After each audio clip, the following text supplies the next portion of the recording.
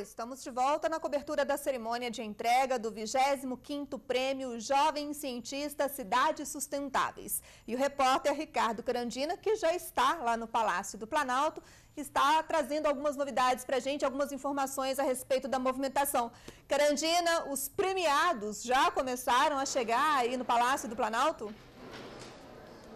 É, Renata, a movimentação sim já começa a chegar aqui, os, os, os, premiados já começam a chegar aqui ao Palácio do Planalto e um deles está aqui ao meu lado, é o Caiodê Leonardo Biag, foi o primeiro colocado na categoria estudante universitário, Caiodê é de Minas Gerais e, como eu disse, primeiro colocado, a gente vai conversar com ele agora. Caiodê, bom dia, obrigado pela sua participação. Bem, primeiro eu queria que você explicasse para a gente ah, o seu projeto, o seu trabalho premiado se chama Mini Usinas Solares Fotovoltaicas. O que, que significa exatamente isso? O que, que é o seu projeto? É, bom dia. A proposta que eu busquei desenvolver é aliar a mobilidade urbana com geração de energia limpa. Por que isso? Né? Enquanto estudante de arquitetura, vendo os desafios né, para as cidades do amanhã, que entra muito essa dimensão, a questão energética e a questão da mobilidade.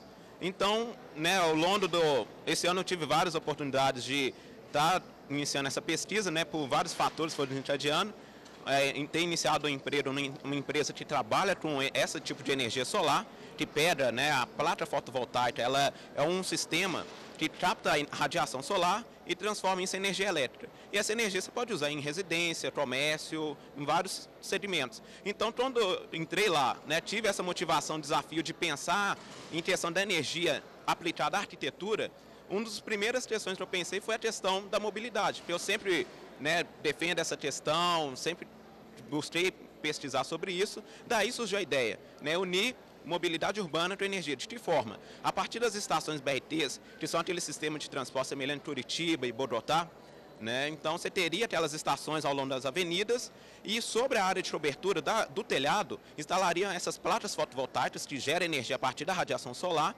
e essa energia poderia ser usada para alimentar a estação, então ela não dependeria da energia da concessionária e também poderia se pensar em programas de requalificação urbana, iluminação pública, irrigação pública, até é, serviços de táxi elétrico, talvez poderia se pensar a partir desse conceito que eu busquei desenvolver bem. Bem, Caio, o que, que você acha dessa ideia, por exemplo, de um projeto como esse do Prêmio Jovem Cientista de incentivo à pesquisa científica?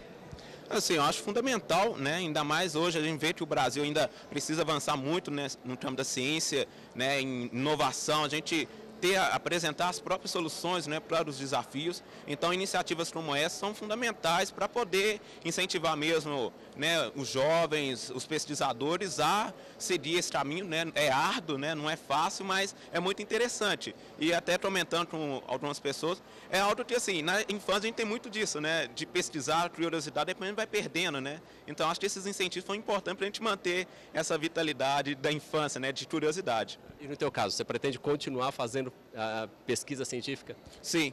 É, até essa pesquisa já nasceu desse interesse, né? Eu estou terminando agora o segundo período, então pensei, não, já começar a é, entender como é que funciona o universo de pesquisa científica, porque eu né, pretendo apresentar outras propostas e essa aprofundar mais, né? Que agora foi um passo conceitual, eu quero agora passar para uma fase experimental.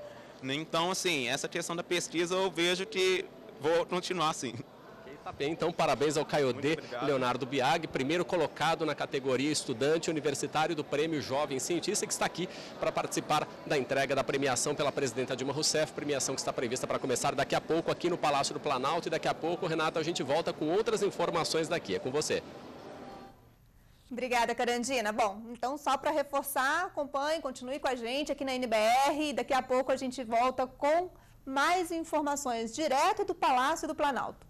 Você pode acompanhar com a gente pelos canais NET, Sky, Oi TV, Embratel ou sua operadora local, pela internet no nosso site, no site da Presidência da República ou no blog do Planalto. Continue com a gente, NBR, a TV do Governo Federal.